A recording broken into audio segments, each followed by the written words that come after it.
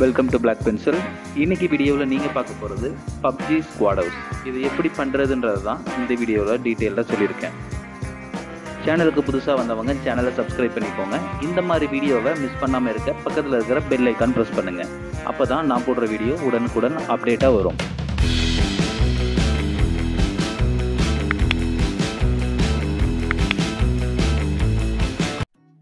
First நான் இங்கே இந்த பப்ஜி ஸ்குவாட் ஹவுஸோட ப்ளூ பிரிண்ட்டை மேனுவலாக வரைஞ்சி வச்சுருக்கேன். இந்த அளவை வச்சு தான் இந்த வீட்டையே நம்ம செய்ய போகிறோம்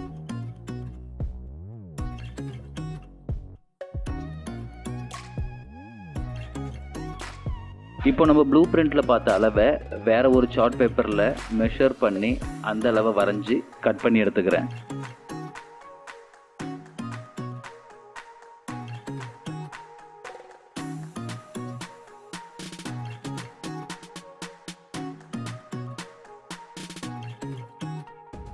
இப்போ ரெடியாக இருக்க இந்த டெம்ப்ளேட் தான் இந்த வீட்டோட பேஸ் இந்த டெம்ப்ளேட்டை வச்சு தான் இப்போ இந்த வீடை செய்ய போகிறோம் இதே மாதிரி ரெண்டு சார்ட் பேப்பரில் கட் பண்ணி எடுத்திருக்கேன்.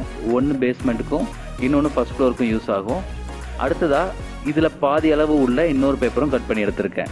இது ஃபஸ்ட் ஃப்ளோருக்கு மேலே டெரஸில் வரும்.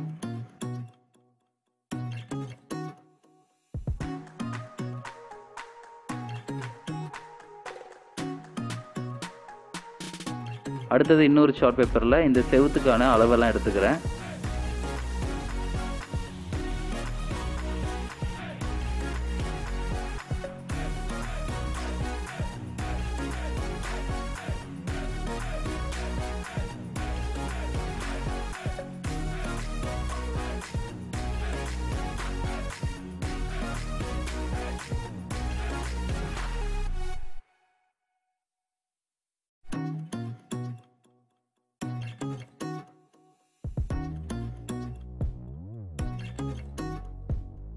இந்த ஷார்ட் பேப்பரில் கார்னர் டு கார்னர் அளவெடுத்து வரைஞ்சி வச்சுக்கிறேன்.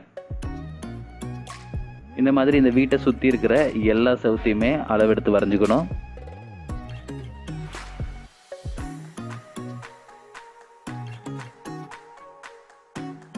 இந்த பேப்பர் பத்தாததால் அடுத்த ஒரு பேப்பரை எடுத்து அதில் மற்ற அளவுகளை வரைஞ்சிட்ருக்கேன்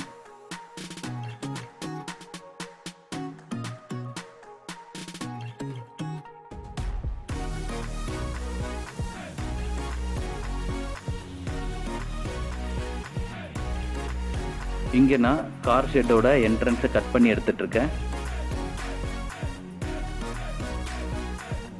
இப்போ அடுத்ததாக நம்ம அளவெடுத்த எல்லா செவத்தையுமே ஒன்றா சேர்த்து ஓட்டுறோம்.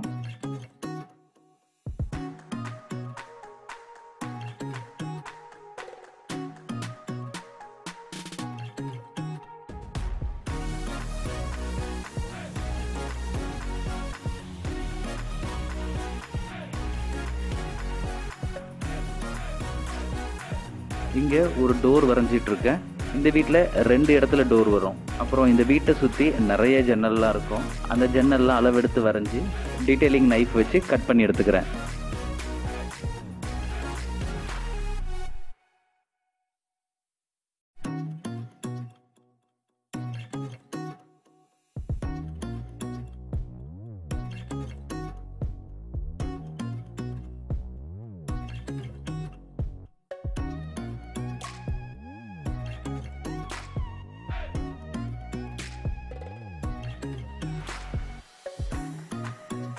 இங்கே மொத்தமாக கதவு ஜன்னல் எல்லாத்தையுமே கட் பண்ணி எடுத்திருக்கேன்.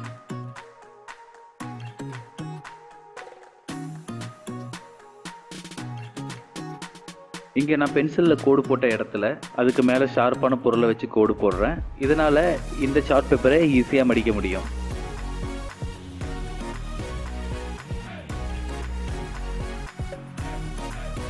வெளிப்பக்கத்துக்கு நான் ஆரஞ்சு கலர் அடிச்சிருக்கேன்.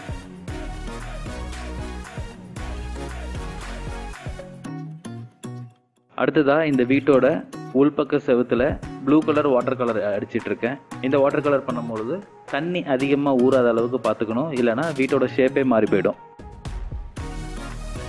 அடுத்ததாக எல்லா ஜன்னலுக்குமே மார்க்கர் யூஸ் பண்ணி அவுட்லைன் வரைஞ்சிட்ருக்கேன்.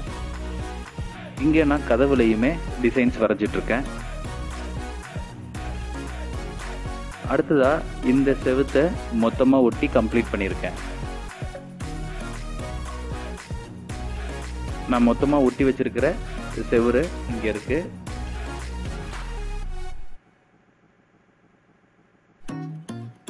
இதை இந்த பேஸ் கூட சேர்க்க போகிறோம் ஃபெஃபிகால் யூஸ் பண்ணி இந்த பேஸையும் இந்த செவுத்தையும் ஒன்றா ஒட்டிக்கிட்டு இருக்கேன்.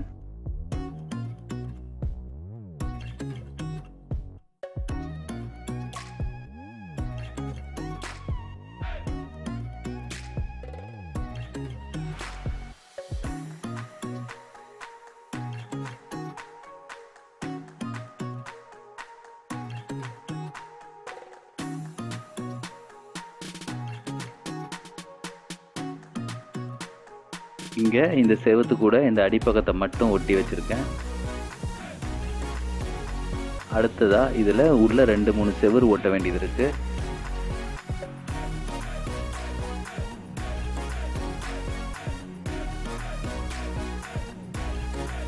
ஒரு சின்ன பேப்பரில் படிக்கட் மாதிரி செஞ்சு வீட்டோட கார்னரில் ஒட்டியிருக்கேன். இந்த படிக்கட் மேலே ஃபர்ஸ்ட் ஃப்ளோருக்கு கனெக்ட் ஆகிற மாதிரி ஒட்டிட்டு இதோட மேல் பக்கத்தை க்ளோஸ் பண்ணிடுறேன். இப்போ கிரவுண்ட் ஃப்ளோர் கம்ப்ளீட்டாக ரெடி ஆயிடுச்சு.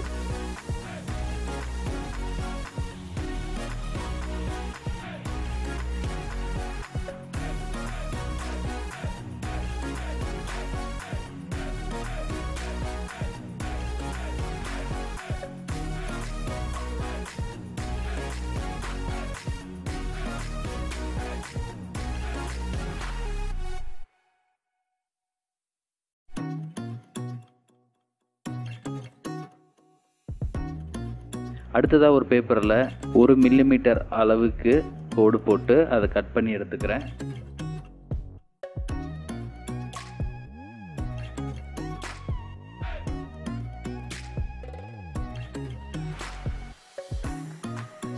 கட் பண்ணி எடுத்த இந்த பேப்பரை இங்கே இருக்கிற எல்லா ஜன்னலோட அவுட் சைட்லேயுமே ஒட்ட போகிறேன் இப்படி ஒரு பேப்பர் எடுத்து ஒட்டுறதுனால இது பார்க்க ரொம்ப ரியலிஸ்டிக்காகவே இருக்கும்.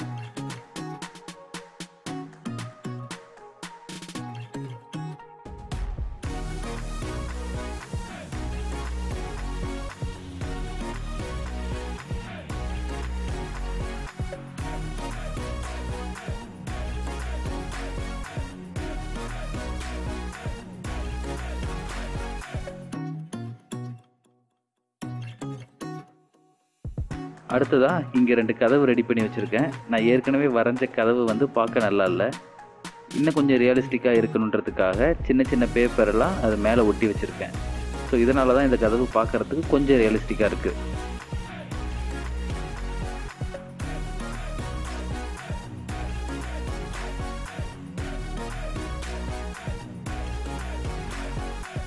இப்போ அடுத்ததாக ஃபஸ்ட் ஃப்ளோரில் இருக்கிற செவத்தெல்லாம் ரெடி பண்ணிகிட்ருக்கேன் கீழே கிரவுண்ட் ஃப்ளோரில் ரெடி பண்ண மாதிரியே இங்கேயும் பென்சிலில் கோடு போட்டு ஒரு ஷார்ப்பான ஆப்ஜெக்ட் வச்சு அந்த கோட்டு மேலேயே இன்னொரு கோடு போட்டு கொஞ்சம் ஈஸியாக வளைச்சி மேலே ஒட்டிக்கிட்டு இருக்கேன்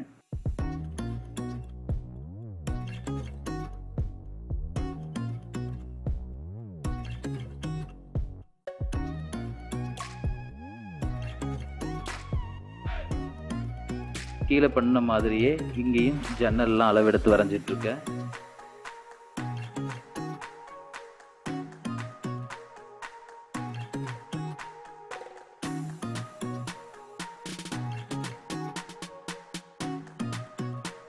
கத்தி ஷார்ப்பாக இல்லாததால் ஒரு ஒரு ஜன்னலுமே கஷ்டப்பட்டு தான் வெட்டிகிட்டு இருக்கேன்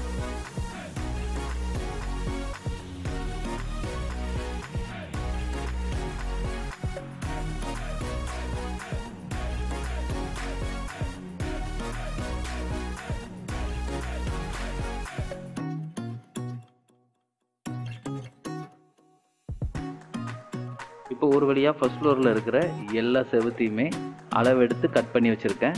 இப்போ அளவெடுத்து கட் பண்ண எல்லா பேப்பரையுமே ஃபெஃபிகால் கம் யூஸ் பண்ணி ஒன்றா ஒட்டிக்கிறேன்.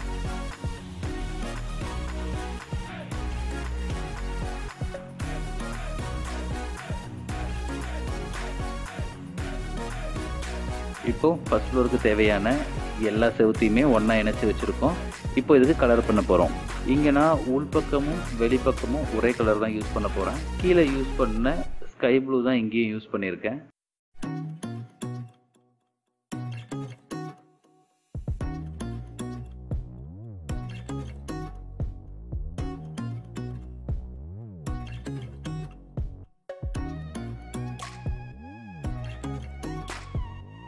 கலர் பண்ணி காய வச்சு இதை வீட்டுக்கு மேலே ஒட்டியிருக்கேன்.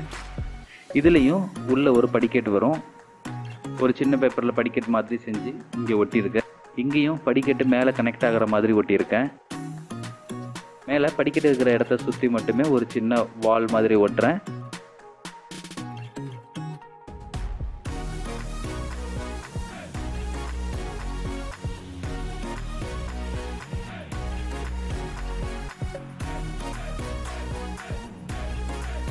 ஒரு பேப்பரில் ஒரு மில்லிமீட்டர் அளவுக்கு கோடு போட்டு கட் பண்ணி எடுத்துகிட்டு இருக்கேன் ஏற்கனவே கிரவுண்ட் ஃப்ளோரில் அவுட் சைடில் எல்லா ஜன்னல்லையுமே ஒட்டியிருப்போம். அதே மாதிரி மேலே ஃபஸ்ட் ஃப்ளோர்லேயும் எல்லா ஜன்னல்லையும் இந்த பேப்பரை அவுட் சைடில் ஒட்டுறேன்.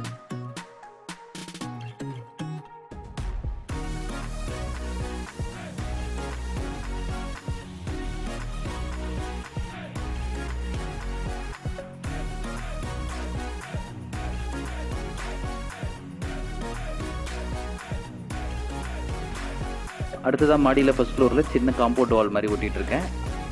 இதை இங்கே அளவெடுத்து கட் பண்ணி ஃபெவிகால் கம் யூஸ் பண்ணி ஒட்டிக்கிட்டு இருக்கேன்.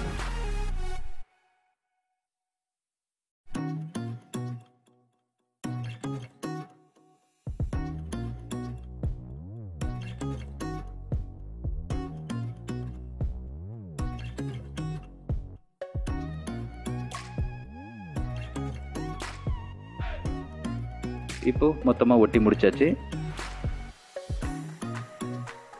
அடுத்ததாக இன்னொரு பேப்பரில் ரெண்டு மில்லிமீட்டருக்கு அளவு எடுத்து கட் பண்ணி எடுத்து வச்சுருக்கேன். இதை ரெண்டு ஃப்ளோர் ஒன்றா ஜாயின் பண்ணுற இடத்துல ஒட்டி கவர் பண்ணியிருக்கேன்.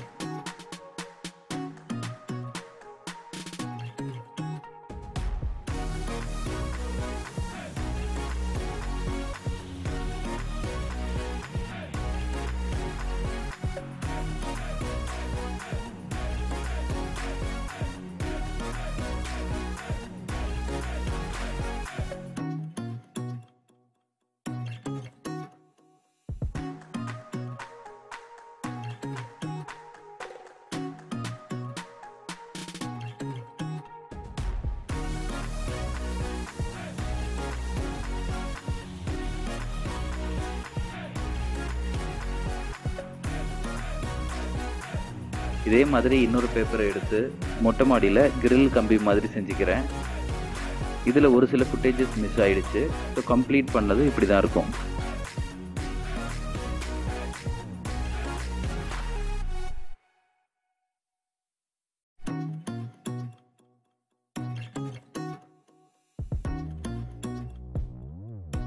ஸோ ஒரு வழியாக இந்த பப்ஜி ஸ்குவாட் ஹவுஸை ரெண்டு வாரத்தில் முடிச்சிருக்கேன். இந்த வீடியோ எப்படி இருக்குன்னு உங்களோட தாட்ஸை கீழே கமெண்ட் பண்ணுங்கள் அடுத்ததாக என்ன மினியேச்சர்ஸ் பண்ணலான்னு உங்களோட ஐடியாவை கீழே கமெண்ட் பண்ணுங்கள் இந்த சேனலில் வர கண்டென்ட் பிடிச்சா இந்த சேனலை சப்ஸ்கிரைப் பண்ணுங்கள் மீண்டும் அடுத்த வீடியோவில் சந்திப்போம். நன்றி.